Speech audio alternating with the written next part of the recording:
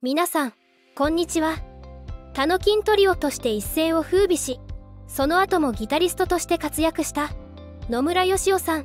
ジャニーズ退社後も干されなかった理由が話題です。今回は野村義雄さんの若い頃結婚した嫁の野坂夏美と子供。また浜崎あゆみさんとの関係年収そして現在をまとめました。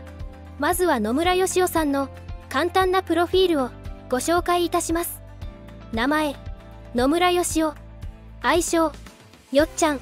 よちおわるお生年月日1964年10月26日出身地東京都中野区。最終学歴明治大学附属中野高校定時生卒業。血液型 A 型。職業ギタリスト。元ジャニーズアイドル。デビュー。1977年所属事務所コンポジラ野村義雄さんは当時12歳だった1977年2月代々木公園にあったゴーカート乗り場で遊んでいたところ今は亡きジャニー喜多川さんにスカウトされジャニーズ事務所に入所しました。当初はジャニーズ少年団というグループを結成していたそうですが野村義雄さんが一気にブレイクしたのは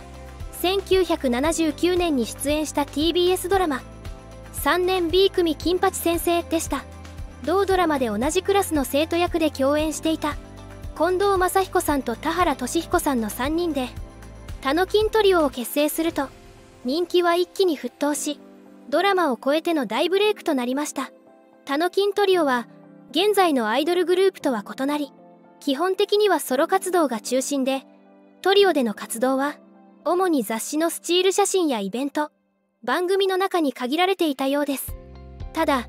人気的には近藤正彦さんと田原俊彦さんがほぼ人気を二分する形で野村義雄さんはタノキントリオの中では地味な存在でした。時には大人気アイドルとして成長する2人と比較され揶揄されることも少なくなかったようです。もっとも当時すでに小学5年生から始めていたというギターに夢中だった野村義雄さんは将来はギタリストになるという待望を抱いておりアイドル活動には全く興味がなかったのだとか。一方野村義雄さんをスカウトしたジャニーさんは野村義雄さんを近藤正彦さんや田原俊彦さんのようにレコードデビューさせたかったようで早い時期から熱心に口説いていたそうです。やがて野村義雄さんが出した自分がメインボーカルではなくツインボーカルのバンド形式ならという条件をジャニーさんが丸飲みしたことでバンドが誕生します。それが1983年6月にデビューしたバンド。ザ・グッド・バイだったんですよね。そしてザ・グッド・バイは同年のレコード大賞最優秀新人賞を獲得しています。そんなザ・グッド・バイも1990年に活動休止を発表しそれと同時に野村義男さんはジャニーズ事務所を退所して系列子会社のジャニーズ出版に移籍。その後個人事務所コンポジラを立ち上げて現在に至ります。その後の野村義雄さんはギタリストとしての仕事が大半を占めるようになり作詞作曲プロデューサーとしてもその手腕を発揮しています。野村義雄さんが1998年のデビュー当初からバックバンドを担当しているのが浜崎あゆみさん。デビュー当時はテレビで歌う浜崎あゆみさんの後ろでギターを弾く野村義雄さんを見て驚いた人も多かったことでしょう。当初野村義雄さんはテレビ出演の時だけバックバンドを担当していたそうですが1999年からはライブでも担当するようになったそうです。浜崎あゆみさんが野村義雄さんを信頼している証拠と言えるでしょう。そんな浜崎あゆみさんがデビュー20周年を記念して開催したアリーナツアーでのこと。野村義雄さんは20年浜崎あゆみのギターを弾かせていただいていろいろなところに行って充実したいい20年を過ごさせてもらった。これからも浜崎あゆみを応援していきます。と浜崎あゆみさんへの感謝と今後の活躍への期待を語りました。もともとは当時の浜崎あゆみさんのマネージャーが野村義雄さんのジャニーズ時代からの大ファンだったことからつながったご縁だったようです。しかしここに来て野村義雄さんが浜崎あゆみさんと決別したとの噂が話題になったことがあるんですよね。あゆちゃんのデビューから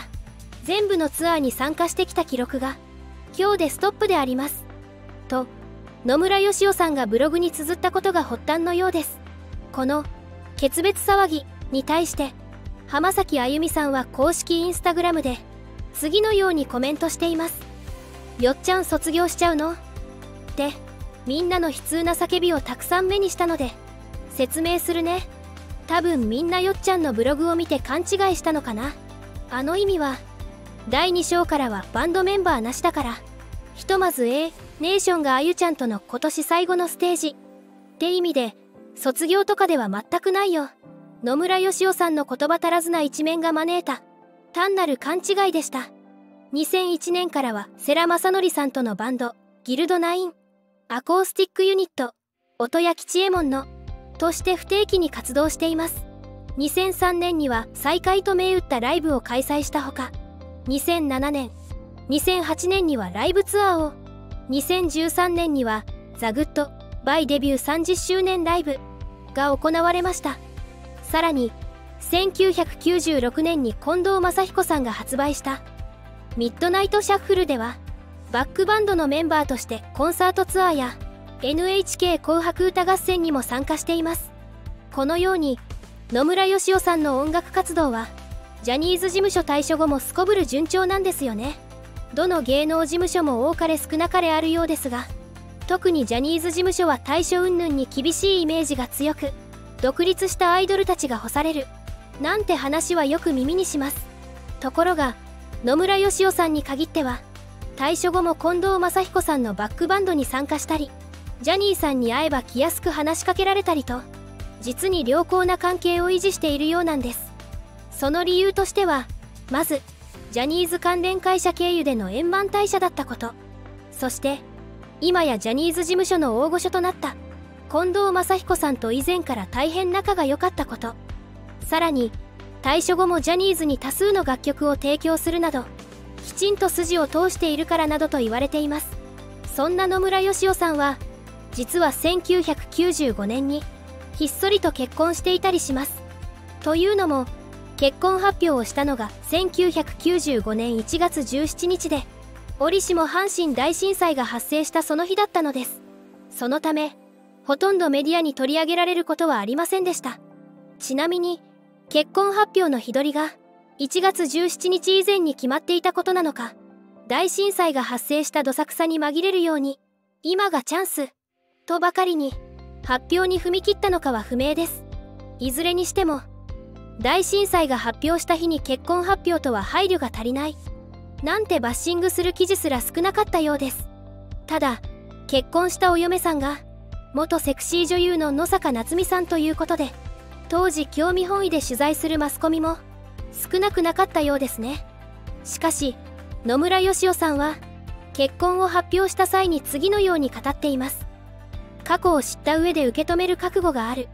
この男気あふれる発言は当時ファンの間で大変な話題になりました。メガネをかけながら作品に出演するというスタイルを売りにしていた野坂夏美さんは世のメガネフェチと呼ばれる人たちの思考にぴったりマッチして大ブレイク。人気深夜番組「ギルガメッシュナイト」にも出演していました。野村義男さんと野坂夏美さんは野村さんが1992年にリリースしたアルバム 440Hz with Band of Joy のジャケット撮影で出会ったとされています。野坂夏美さんは1993年にはセクシー女優を引退しておりその後は一切メディアに登場することはなく陰から野村義雄さんを支えているようです。野村義雄さんと嫁野坂夏美さんの間には1996年3月に長女2005年11月1日に次女と2人の子供が誕生しています。長女は名前などの詳細は一切公開されていないようですが次女については誕生した際にブログで発表があり楓ちゃんという名前も顔が写った写真まで公開されているんですよね。そんな野村義雄さんは2016年1月19日にマツコの知らない世界のゲストとして出演しました。テーマはマツコの知らないエレキギターの世界。この番組の中で紹介された所有数300本超とも言われる野村義雄さんのギターコレクションが半端ないと当時大変な話題になったんですよね。気になるギターの腕前ですが野村義雄さんのギターの腕前は超一流。その証拠に一度共演すると再度の共演を望まれることが多いそうです。何よりもギターを愛する野村義雄さん。ギターを弾こう空気を弾くなと語るなどエアギター撲滅委員会の委員長を自称しています。ギターを愛するがあまりにエアギターを受け入れられないのでしょうね。そんな野村義雄さんの年収はどれくらいなのでしょうか。300本以上ものギターをコレクションしていることからかなり稼いでいそうですよね。調べてみたところミュージシャンの収入は知名度によってピンキリ。あまり有名でないスタジオミュージシャンだと日給が約1万円だそうです。知名度を上げるために無給で仕事をすることもあるんだとか。ですが野村義雄さんは知名度は間違いなく抜群でギターの技術もハイレベルです。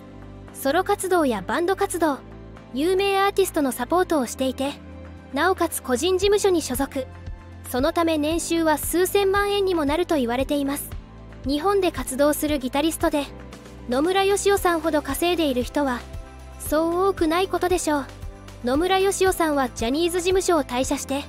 正解だった数少ないケースと言えますね。いかがだったでしょうか。今回は野村義雄さんについてご紹介しました。最後までご視聴いただきありがとうございます。よろしければチャンネル登録高評価の方もよろしくお願いしますそれではまた。